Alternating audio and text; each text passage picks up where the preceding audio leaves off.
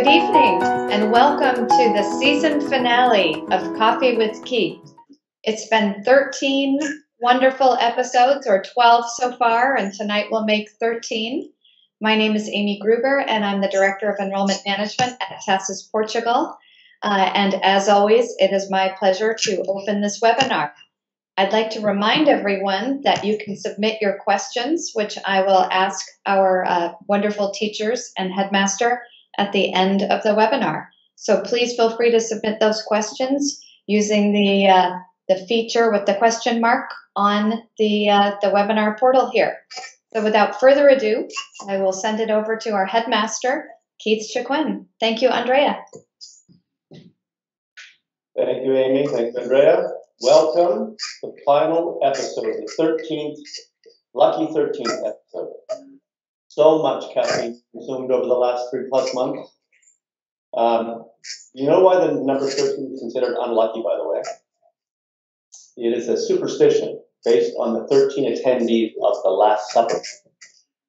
Apparently, that last chap didn't behave very well. Uh, personally, though, I think it's because it's the year when young people become teenagers. And let's face it, that is an unlucky time to be a parent. Either way, I did promise Jonathan's parents that we would consider adding another update of Coffee with Keith in July. I'm not making a commitment yet, but we may have some things to share. So we'll let you know about that. But certainly we won't be back for a few weeks. We've got a bunch of construction to take care of first. Um, but I will admit to being very pleasantly surprised by the enthusiasm for these webinars. Parents have told us that they look forward to this event every week. And to those parents, really, you need to find more interesting hobbies. Uh, one parent, though, recently commented that the webinar seems so professionally produced, which I laughed at because uh, I can assure you this is a very small team producing these events. Uh, in fact, there are just the three of us. Um, but I do want to thank Andrea Balaz, our Director of Studies, who's our technical producer. Of course, as you've heard me comment, her daughter Alma actually does most of the work. And Amy Gruber, our Director of Marketing and Enrollment Management, who has been vetting the questions, making sure that none of Franz's get through. And of course, our wonderful faculty who have supported us and joined in. For those of you who haven't had your 15 minutes of fame, I apologize, but everyone will meet you in person in 10 short weeks. I did have a good laugh, though, at a most recent comment. Actually, it was from last week when we announced this would be our last one. And I, I made a joke to one of our parents who's in Germany, uh, who shall remain nameless, although he goes by the pen name Bruno. And he, I said to him, you would have to consider taking your wife out on a real date after this ends on Thursday.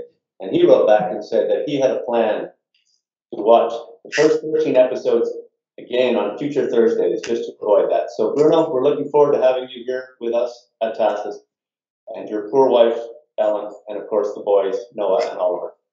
Noah is probably watching tonight because he wanted to meet his third grade teachers, who unfortunately could not be with us. I will address that shortly. However, a few updates.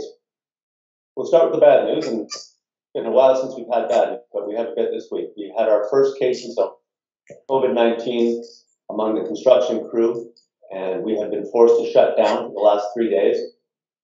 Today, we had workers, mostly specialty workers, putting up the gypsum board on the classrooms and the final plywood that goes on before we apply our facades to the exterior of the building. But we have lost a few days. So that's um, troubling to us. We don't have a lot of time to, to wait. With that said, we have applied to work on weekends, and we believe that will be granted in a couple of time. So uh, I've said this before, I'll say it again tonight. We have two backup plans, uh, which we uh, checked with the Ministry of Education just yesterday. We had a meeting with them to show them our facility because we made some changes to the facility, and they've been the, the architect, the chief architect, has been exceptional in helping us. But uh, plan one is to take advantage of an offsite building, which is only a few minutes away by car. That has been checked by the ministry and they will approve that. And also, if we had to, we could place portable classrooms anywhere on the site, including on our field. Neither is an attractive option, however, but they are approved and we'll use them as a fallback. The ministry has a good opinion. They say just get people working harder and make sure you're open in September. So, um, and that's our plan. Other good news though, our playground has been approved along with the Early Learning Center for outdoor classroom design, along with our playing field decision. We decided recently, just this week, to instead of attempting to grow natural grass on the entire field, which based on the growing season might be troublesome, uh, we, we believe instead we're going to lay an artificial turf, which will be done much, much faster and then surrounded by grass on the perimeter. Um, and I will say to uh, Enrique, who might be listening from the Azores, I think he's there vacationing. Enrique, I know you prefer natural grass for rugby, but we are worried about the growing season and all the rainy weather in the fall. So you and I can chat about that sometime soon. Uh, as well, the, we confirmed that the indoor gymnasium and climbing wall will be installed in August. So that's good news. And uh, in general, all the facilities are coming together nicely with the exception of the construction crew temporary slowdown. Anyway, if you read the Founding Families newsletter, and shame on you if you don't, you will have seen a young Lexi rocking her new TASIS t-shirt. As well, we have three more suggestions for school mascot. TASIS unicorns, which I happen to like. Uh, also the TASIS storm, apparently named after a family's fish and not just any fish, but a giant gourami, which the family is willing to donate, they claim, to TASIS. Although a very generous offer, I don't think Storm would feed the entire school. And finally, perhaps the funniest of the lot, Mateusz and Luisa have offered Harry, their dog, as a mascot. And I think everyone would love to see Harry roaming the corridors of TASIS. So I'll give that some thought. All right, let's meet some of these wonderful teachers I continually boast about. We have two grade one teachers with us this evening, and I know some parents were concerned that Heather and Aaron, who we introduced months ago, uh, maybe weren't coming, maybe they had backed out. But we have two new grade one teachers. Well, we found better teachers, and we, no, I'm kidding. We have two classes of grade one. Demand has been so significant, and therefore uh, I'm going to introduce our other teaching pair this evening, starting with Carrie Chapman. Hi. Carrie Chapman joins TASIS from the International Preparatory School, where she has been teaching for the last three years. Carrie studied English at the University of Bristol before going on to complete a postgraduate certificate in education in London. Carrie has taught in the UK, the US, and Africa. He's an outdoors enthusiast, a horseback riding instructor, a yoga teacher, yes, a yogi, rock climber, and a dog lover. Naomi France joins TASIS from United World College, Phuket, Hello. is in Thailand, where she has been a grade one teacher and a lower primary learning leader for three years. Naomi completed her law degree at Reading University before completing excuse me, her postgraduate certificate in education at the University of Plymouth. By the way, Reading University is so named, I believe, because it's a requirement for entry. And Naomi's parents had unfortunately neglected to tell her that the world has enough lawyers. Delighted joining us, she began her career in her home country of Wales. Afterward, Naomi as I said, in Africa, before moving to Thailand, she too practices yoga, paddleboarding, hiking, and camping. And I believe Naomi is our fourth or our fifth Welsh teacher. And I am now getting excited about the prospect of a South African Welsh staff women's rugby match. By the way, interesting facts there are four times as many sheep as there are people in Wales, and it is the home of the famous author Roald Dahl, who you've all heard of, and to Catherine Zeta-Jones, who, who, come to think of it, Naomi bears a striking resemblance. And of course, well, national treasure, Tom Jones. Right then, I'm going to also introduce the two teachers who couldn't be here tonight. Sam Mason has lived in Portugal for four years. He spent the first two years teaching English language uh, sorry, teaching at the English Language Center in Cascais. And for the past two years, he has taught at another school in Cascais as a lower elementary and PE teacher. Prior to arriving in Portugal, he taught in Spain. Sam graduated from the University of Essex, did a degree in sports science, and then earned his TEFL and Montessori teaching qualifications. In his free time, Sam can usually be found surfing or on the golf course. And Sam was very disappointed to find out that when he joins the staff, he won't have any free time. Oh, my technical director is uh, suggesting we got an issue. Yeah. All right, I got it. Thank you, Manuel. Okay. Sorry about that. We're having technical issues. Uh, anyway, back to by the way, England, Sam's birthplace, is famous for its big clock that has its own name. I believe that's called anthropomorphization. Into seven syllable words. And also some of the best, world's best curry. And currently is the leader in the European race for herd immunity. Oh, and England did also produce a half decent playwright and a few solid rock bands. Sam's teaching partner in grade three will be Carla Slater. Carla has an undergraduate degree in graphic design and media and applies her creative background her teaching. She believes creativity is the foundation of innovation and problem solving. Originally from South Africa, Carla taught in her homeland for many years before moving to Valencia, Spain, where she was the lead teacher in their upper, upper elementary class and early years coordinator. Most recently, Carla has spent the past years teaching elementary school and art at a school in Cascais, which I shall not name. Carla and her daughter Lexi will join us in August. By the way, South Africa is best known for its somewhat decent rugby side, who apparently won some sort of tournament, I believe, recently, uh, and as well its beautiful beaches where you can swim with the sharks.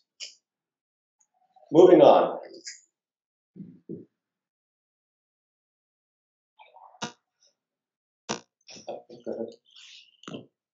Is it the sound that's the problem? Visual? Yeah, it's touching. Okay, sorry. All right, we're, we're, we're trying to fix our sound issues here. So, although I've introduced them, they're not our guests this evening. Neither Carla nor Sam join us this evening.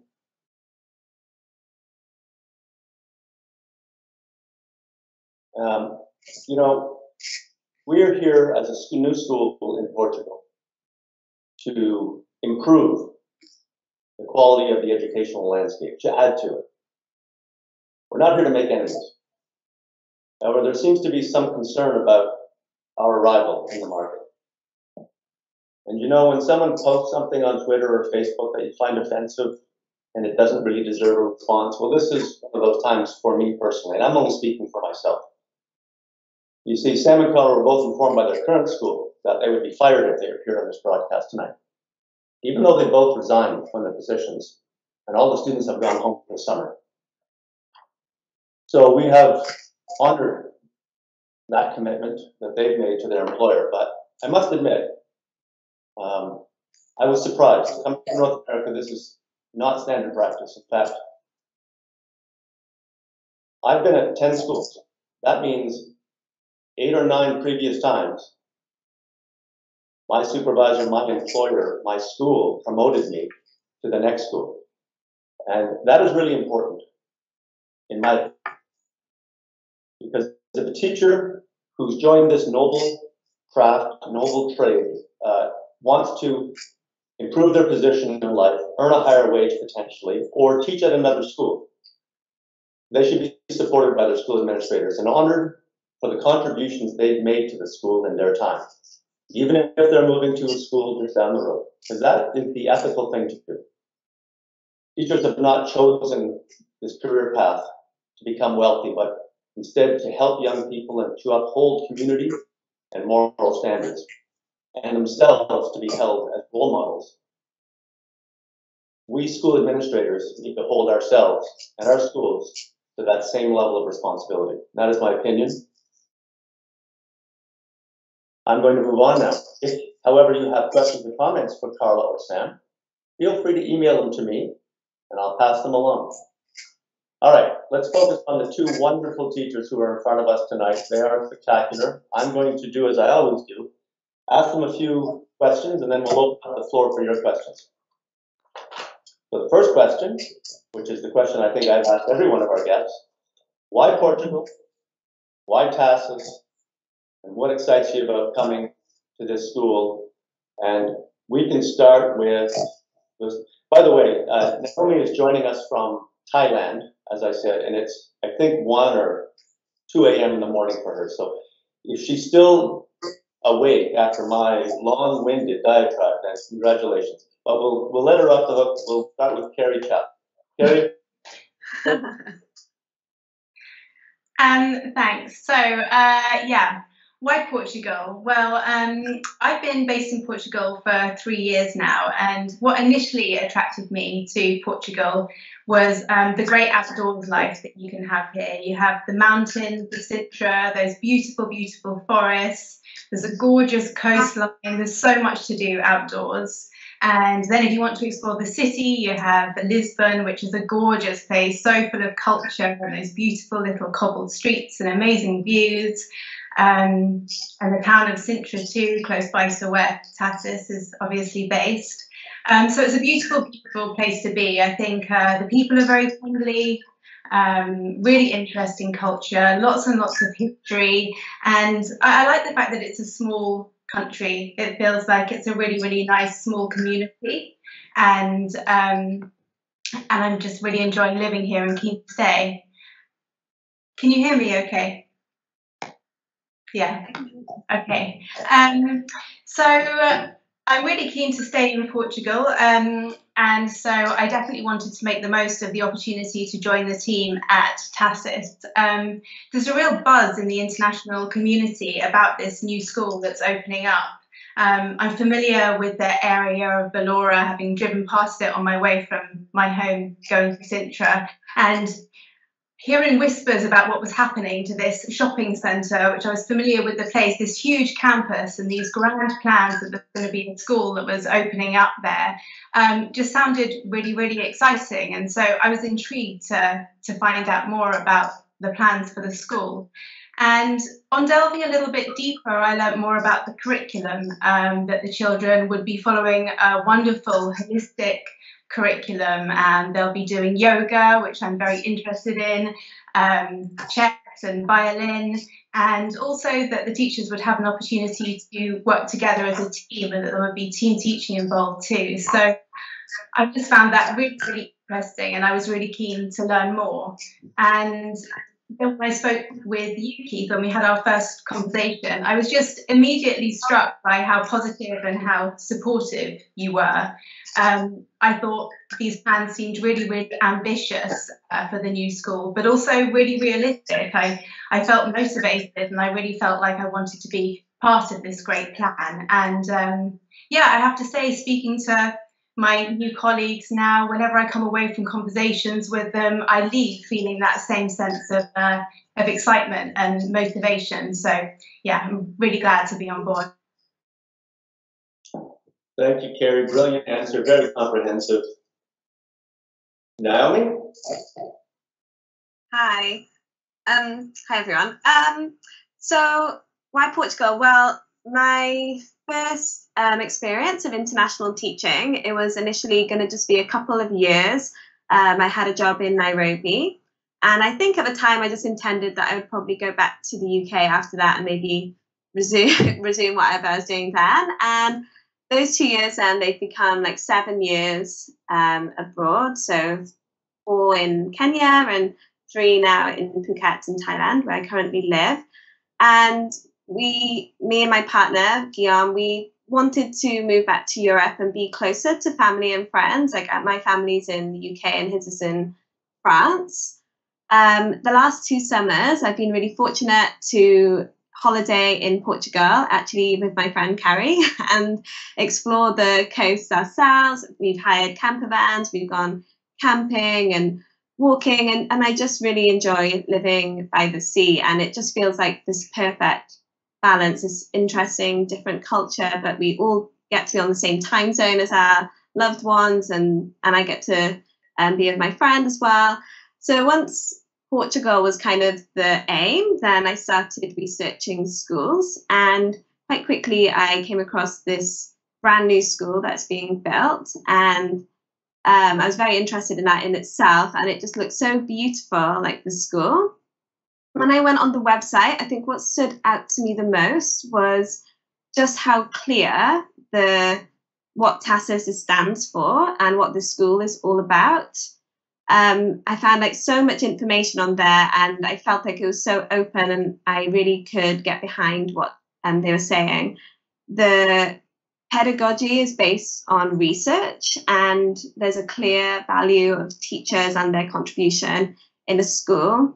I felt like there is like academic rigor, but then balance with the skills as well as the knowledge and the development of the whole child.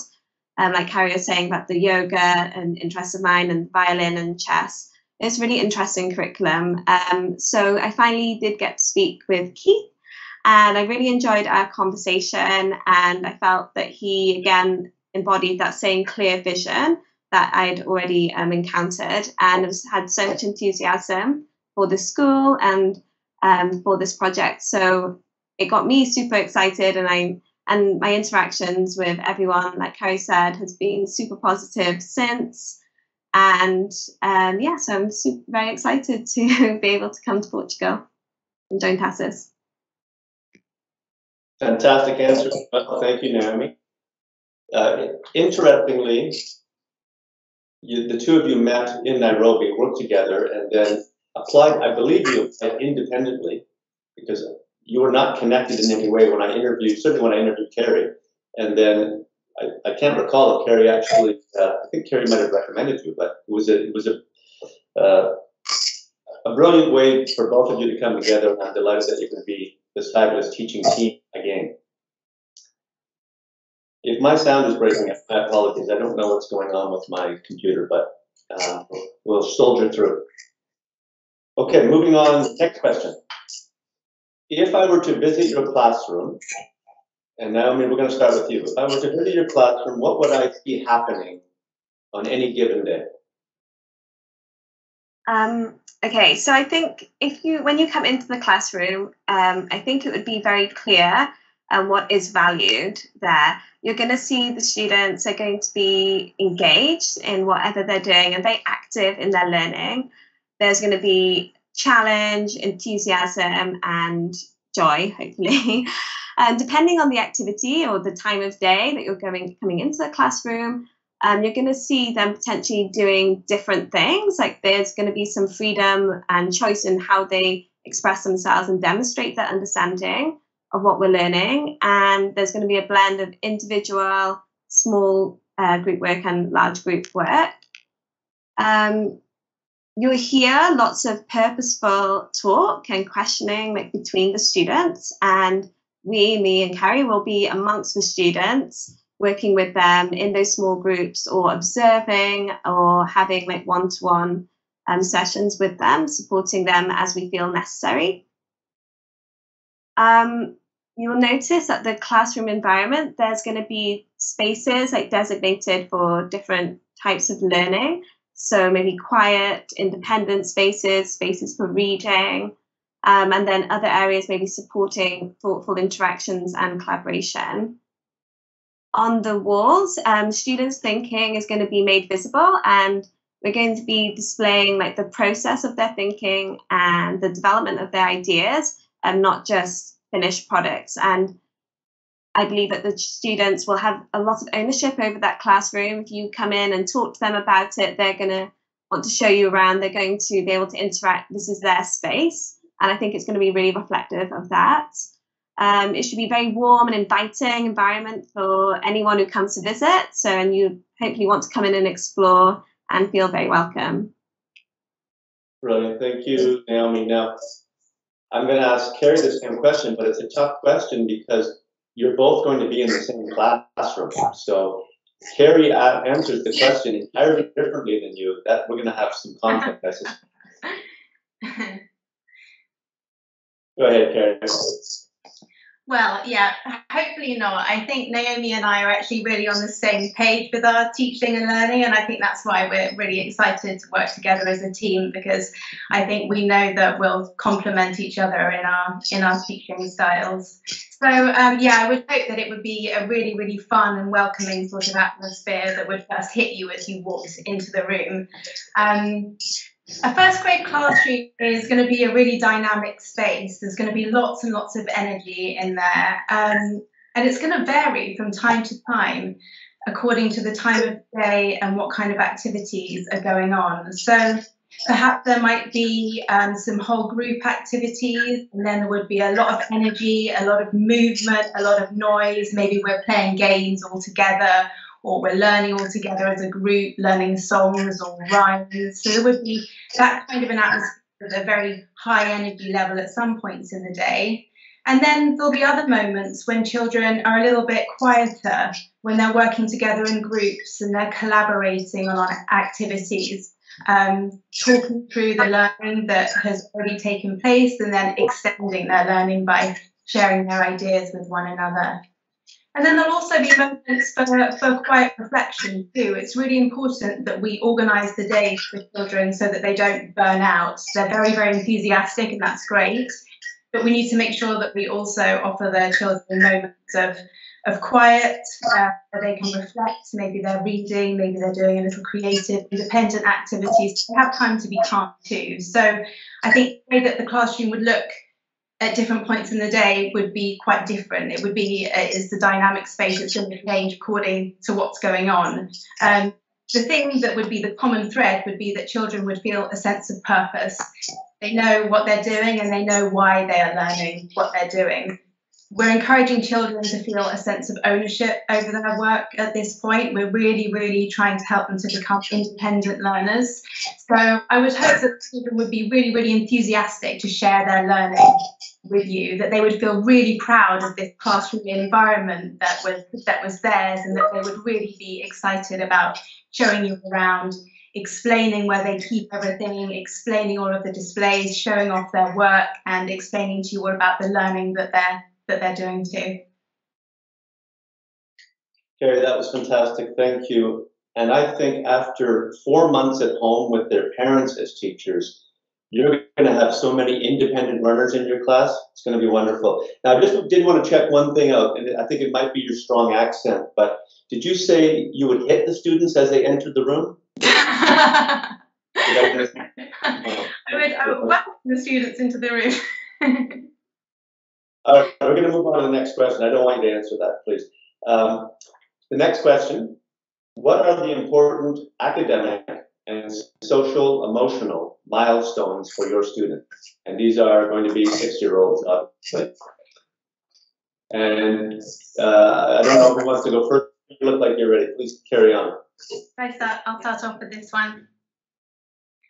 Um, so yeah, it's a huge year, grade one. Um, the children change so much and they develop so much over the course of that year. It's a really, really special moment in their learning.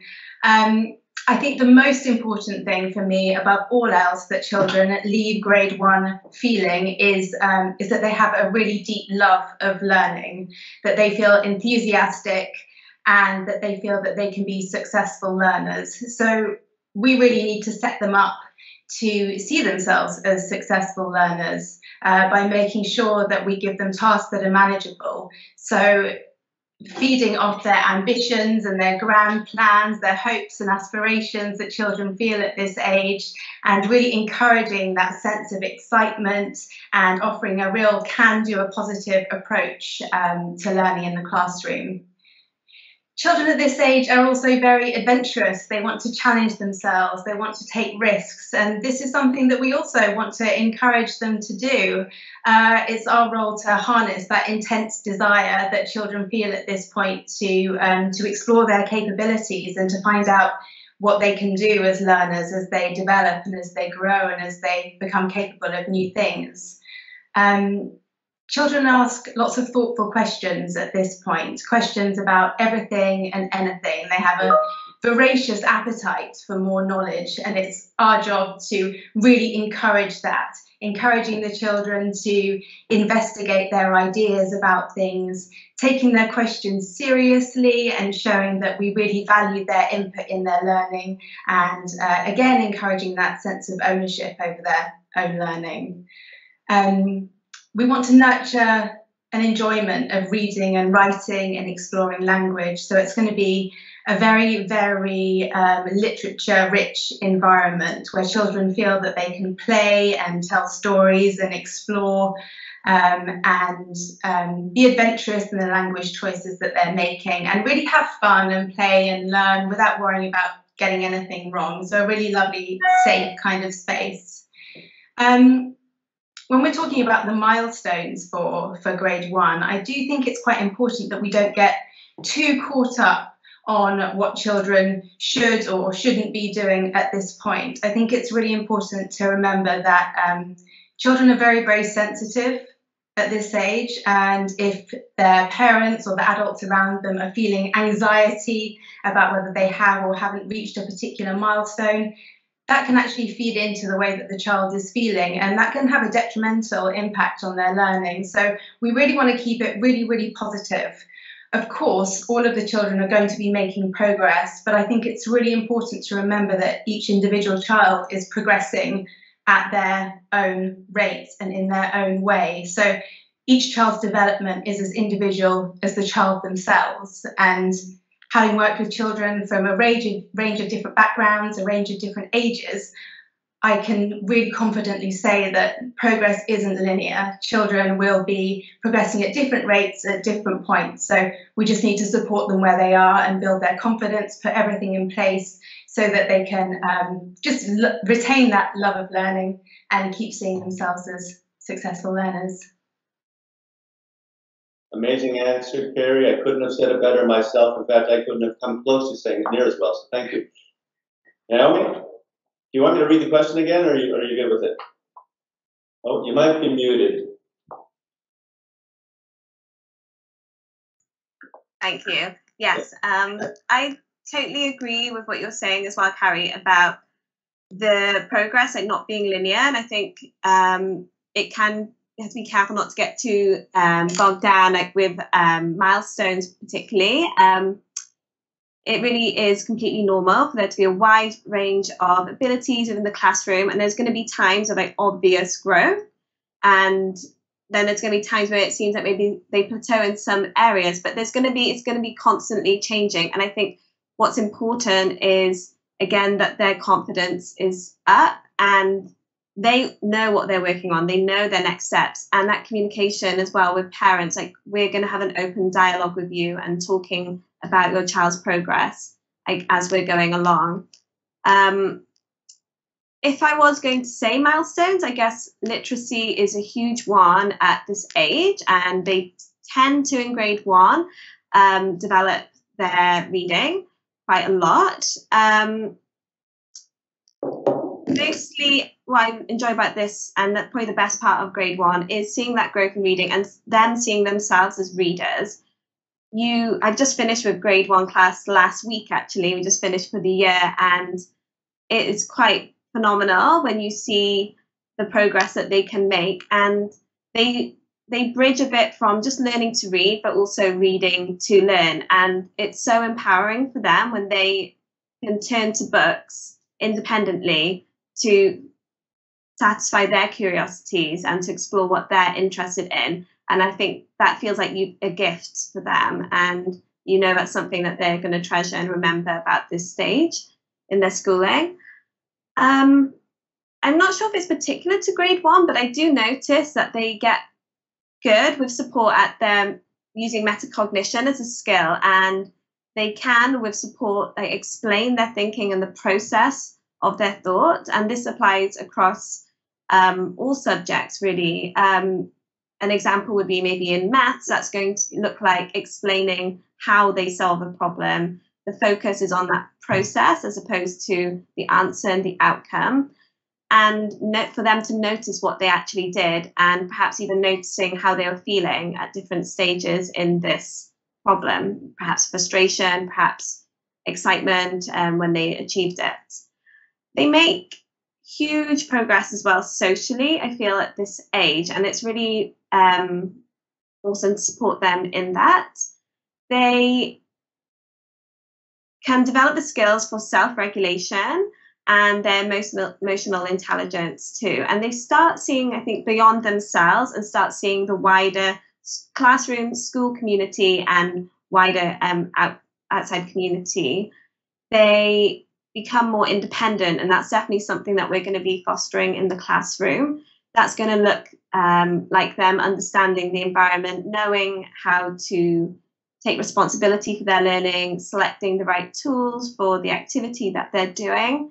Um, outside of class, that's going to look like them probably having loads of play dates and they start maybe having sleepovers at this kind of age and they become really um, attached to their friendships and that becomes really important to them and that's something again at this age that we help them navigate because with those strong friendships um, often the conflict arises and they need to learn the strategies and tools to deal with that and how to deal with it themselves um, along with those interpersonal skills, is a great time for them to collaborate. They really can actually um, work together and see the strengths that individuals bring.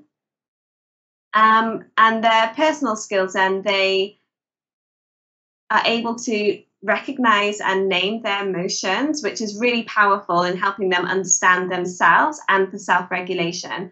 They can tap into how they're feeling and know what they need to do to support themselves. Um, yeah, I feel like those are the main things. I'm, I'm delighted to hear it. Carrie, and in, in highlighting the wide variety of ages, uh, progress of students at that age and the difference between them, I think you, you highlighted why we take the approach that we do at TASIS, which is to put two qualified, very qualified people in front of a class of 20 or 22, or in some cases fewer, and allow you to focus on the individual child who might need more support in that particular area, or the child who might need more challenge at that particular time in that subject area or that time of their life. So thank you for highlighting that. It explains, I think, our teaching philosophy and why we believe this teacher pairing is going to be an exceptional way for young people to develop. Amy, I've got, I've got a couple of questions that I was going to ask. However, if you've got a long queue, I, I could hand over. I, I, have one more, but I can ask it toward the end. Actually, I have two more.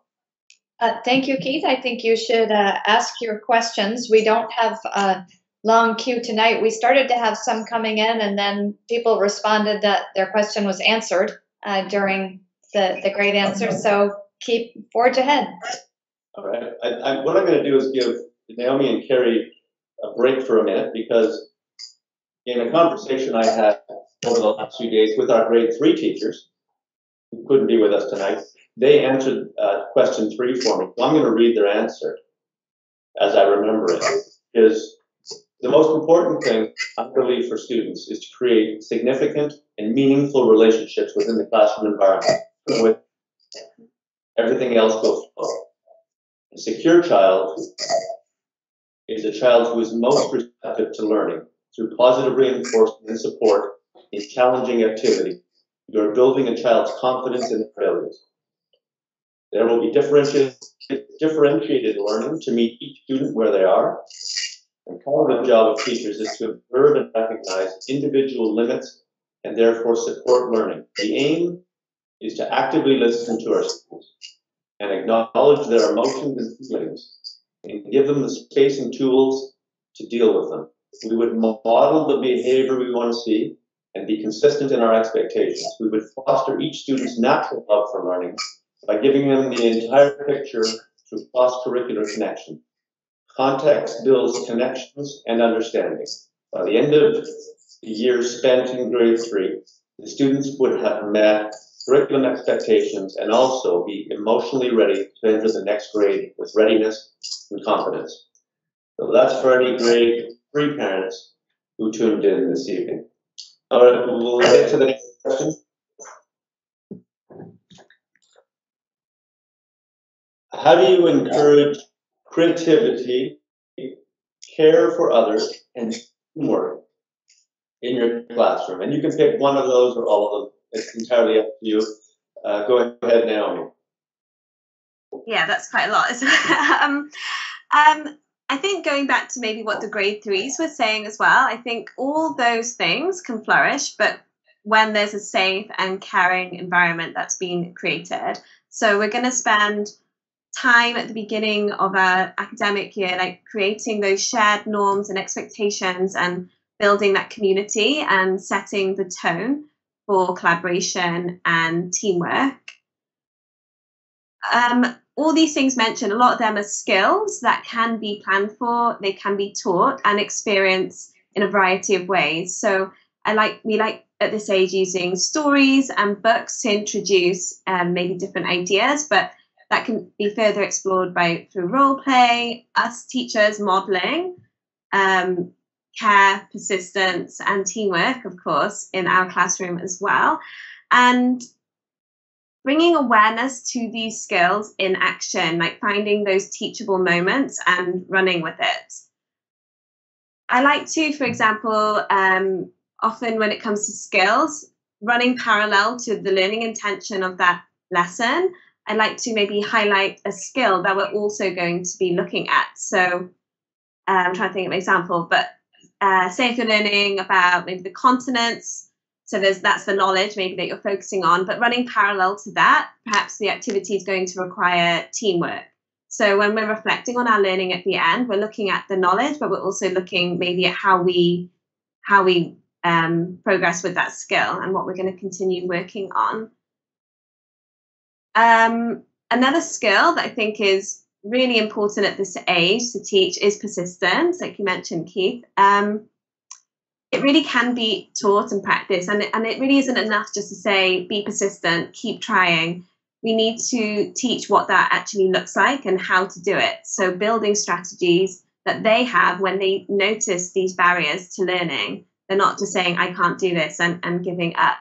So, depending on the student, they might need different strategies. Some might, in those moments, have maybe negative self talk and they need to have support developing a growth mindset. That's going to be something that will support them with being persistent and with dealing with challenges that they come across. Um, similarly, with teamwork, teamwork was the other one you mentioned, I think.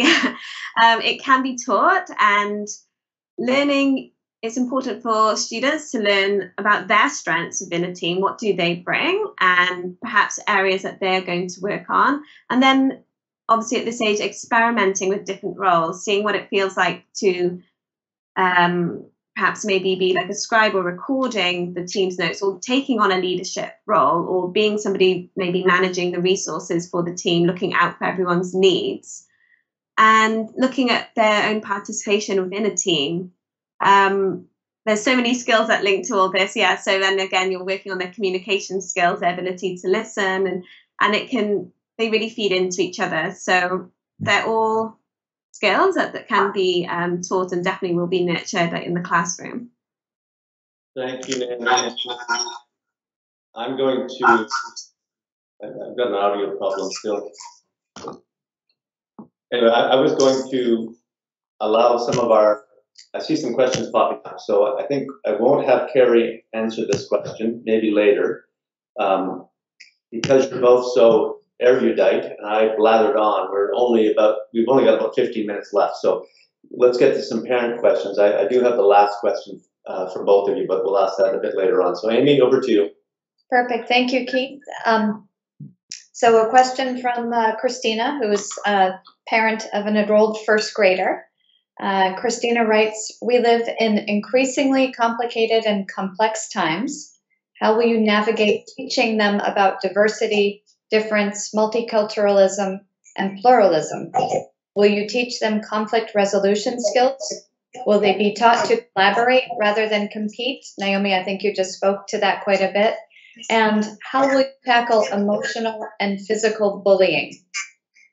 So, Amy, I'm going to suggest that, I mean, each of those questions, mini questions, is 20 minutes of answers. So I'm going to have Carrie pick whichever piece of that she would like. So there's how do you how do you tackle physical and emotional bullying? How would you navigate diversity and difference?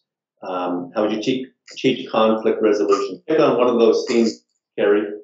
And Um, excuse me for interrupting, Naomi. I think the feedback's coming from you, so if you can mute when you're not speaking, please. Oh, sorry. Yeah. Thank you. Um, okay, well, picking up on the question of diversity, um, I think that's a really wonderful thing about international schools that diversity is reflected within the classroom. So children are exposed to diversity on, on a very personal level in, in real life.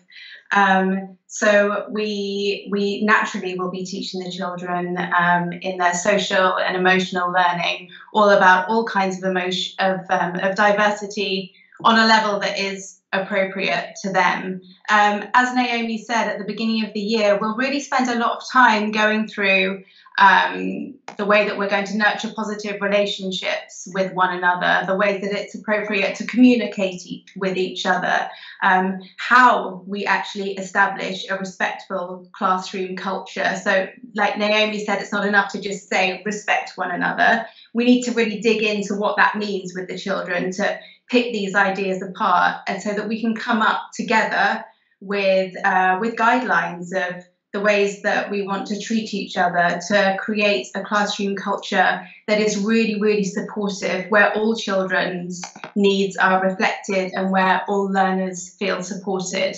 Um, it's really, really important that children feel valued and heard and supported within the classroom environment. That's really the baseline from which everything else comes. So we'll make it an absolute priority to make sure that every child feels supported listened to and heard in our classrooms. I think that's going to be the the priority for us, really.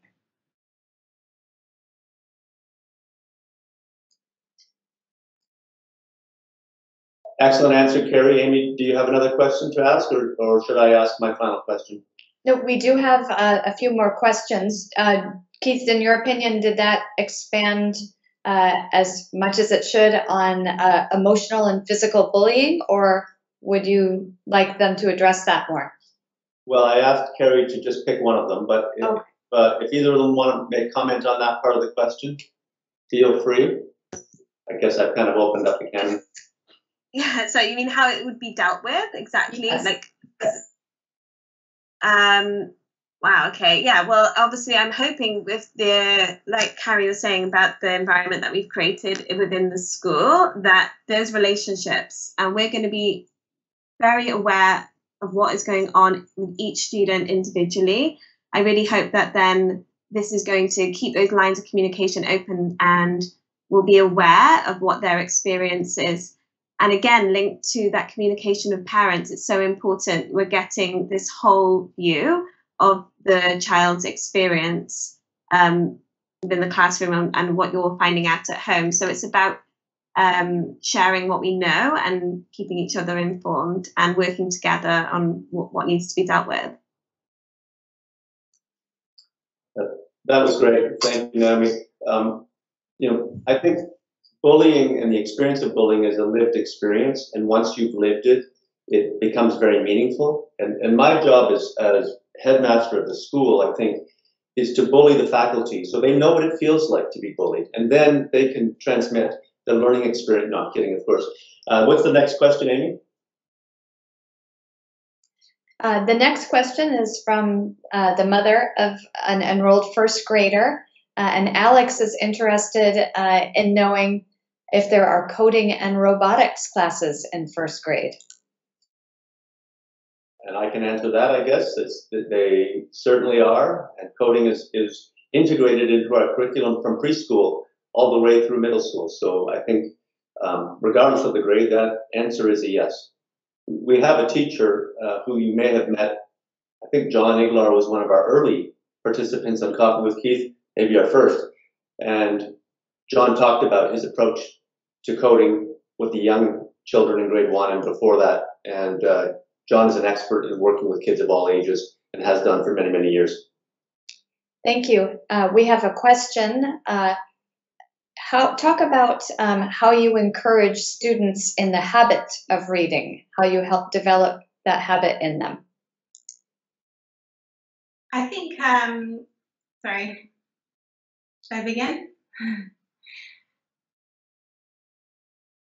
You go ahead, Carrie, because Oh, now is muted. Sorry. Uh, okay, all right. I'll go ahead then. Um, so I think uh, to begin with, it's really important to to lead by example. So if children see the adults around them and their friends, if they're in an environment that is text rich, and if they see that the people around them are reading, they're going to see that that is something that they really want to do. So they're going to feed off of the enthusiasm of the people around them.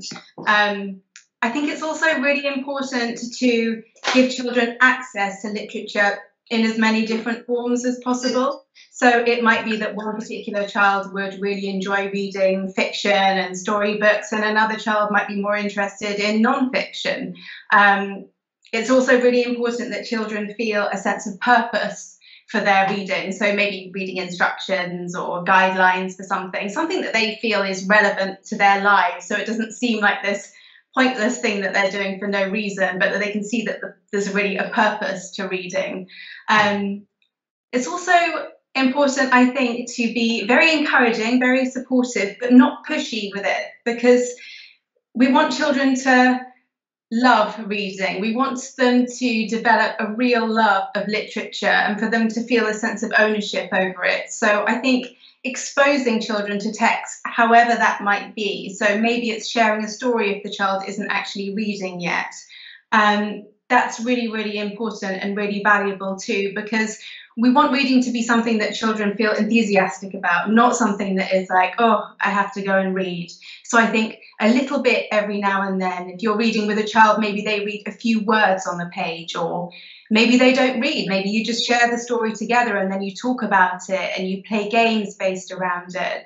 Um, so I really think it's important to um, keep reading purposeful and keep reading fun and try and resist the urge not to be too pushy with it. Because if children feel a love for reading and they feel that they want to learn to read they will learn to read. They, they may not learn to read quicker than anyone else in their class but they will learn to read. It will come if they feel this enthusiasm and this desire to begin reading. So i think that's the most important thing that is really really precious that we need to try to hold on to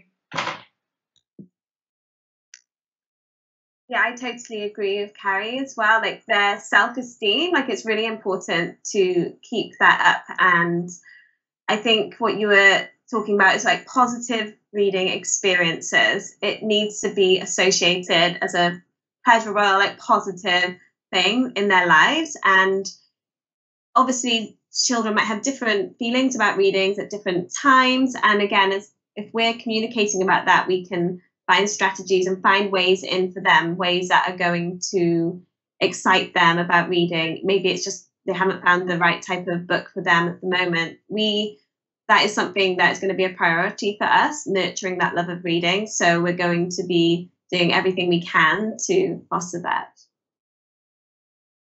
Thank you both, and I know you, you both endorse reading aloud at this age, and, and I've written a blog on that, and I know we've talked about that. So um, here's the last question that I have, and you must answer it in less than 30 seconds. You can. If there's one thing your students will remember about you when they are older, it is. Um, okay, well, I'll go first, um, but I'll try not to, um, yeah, take longer than 30 seconds. I have, a, as Naomi knows, I actually have a story behind this, so I'll have to cut that. Um, so Go it's. You've got 45 seconds. Go ahead. it's really um, that I had faith in them, that I believed in them. Um, I had a teacher who had faith in me and really believed in me in a way that seemed like something very, very minor, something unimportant that I'm sure he wouldn't remember. He showed faith in me and he told me he believed in me at a moment when I was feeling really nervous. And it meant a huge amount to feel that acknowledgement, to feel seen and respected in that way. And um, it really nurtured a great relationship between me and that teacher. And so I really felt the power of someone believing in you, someone genuinely believing you in you is a is a really powerful thing.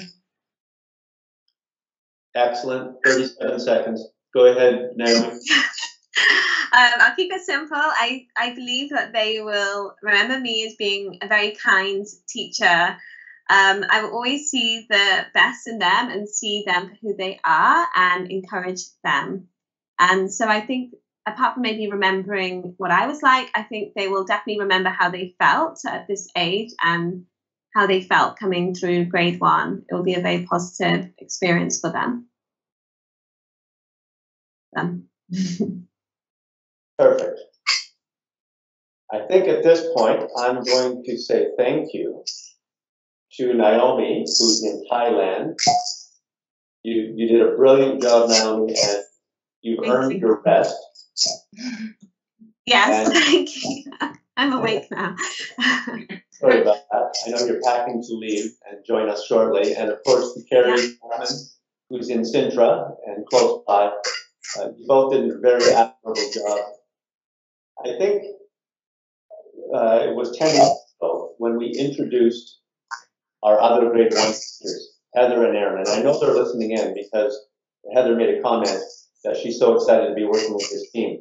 Ah, Hi. enough of, um, Naomi, I'm going to get you to mute. I'm not sure if it's my computer or yours, but I'll get you to mute. That might be better. The, the people who saw our first two grade one teachers 10 months, uh, 10 weeks ago, Heather and Aaron, I think many of the parents and students probably fell in love and maybe fell in love too early. Now they're thinking, oh, wait a minute. Two teachers are also exceptional now I'm having second thoughts. Which ones would be better? So, you know, I'm not trying to create a competition, and I'm, in fact, obviously, I'm just joking. You two were fantastic. It's going to be an amazing team to have the four of you working together side by side in two classrooms, and we can't wait for you to arrive. So, thank you both. yeah, it's a pleasure. We're really excited too. Yeah, very excited. Thank you. Thank you, and and also to Sam Mason and Carl Slater. I know you're watching. Uh, we missed you tonight, but we'll see you very soon. I've said this repeatedly for 13 weeks. We have the finest group of teachers assembled. Your, your children are in for a treat. And if you find a better elementary program taught by better teachers than we have, I will pay your tuition at that school. That was just a test to see if you were awake, and that was a joke. However, I'm not worried that anyone will be challenging that anytime soon. So, uh, in closing, we've got a couple minutes. This will be the last time you hear from me, at least for a bit. And I want to thank everyone who's here tonight and who's participated over the last three plus months for uh, indulging me, for tolerating my sense of humor, and occasionally my ethical diatribes. I will say I've met virtually every parent and the young people who will join this community in a few short months. And I believe they are very good people who want a more equitable and just world, who care about the planet, and about those who have had the misfortune not to be born in a civilized society or a democratic one or a safe one, or did not have the economic opportunity to enjoy the life we have. My mother taught me by example that hard work is good. Taking pride in your work is noble. Exercise is a necessity for health, but caring for others is the only path to eternal life. She's a much better person than I am, but I'm trying to be a little bit better every day. And our goal here, so everyone is clear, is to help create a school that does a few things very well. School that creates an inclusive, supporting, a supportive, respectful, and ethical community of teachers, students, and parents. School that educates young people to understand the world in which they live and their place in it, and helps them to strive for something other than solely financial success, but instead to find something really meaningful to chase. And when they catch it, to have the courage to confront it and hopefully improve it. We're not just here to create another school. We're here to create a great school. And I want to thank the families who believed in our vision and who have enrolled their most precious assets with us, your children, and who will join us as founding families because together we will create an amazing community of learners. And yes, you are helping us to found this school, and we need your support to create the school that your children deserve. And we promise to educate your children to the highest standard while supporting their full growth and development, and importantly, to do it hand in hand with you, their parents, and our partners. I have no doubt this will be the best school and that you will help us make it so. We've gone one minute over time, but we started one minute late. It's been my true pleasure to spend the last 13 weeks with you. You cannot imagine the excitement that we all share to see all of you in person shortly and to welcome you to this fantastic school that you will be part of. So please take good care, enjoy your summer, and stay safe. We'll see you in 10 weeks, if not sooner. Good night, everyone.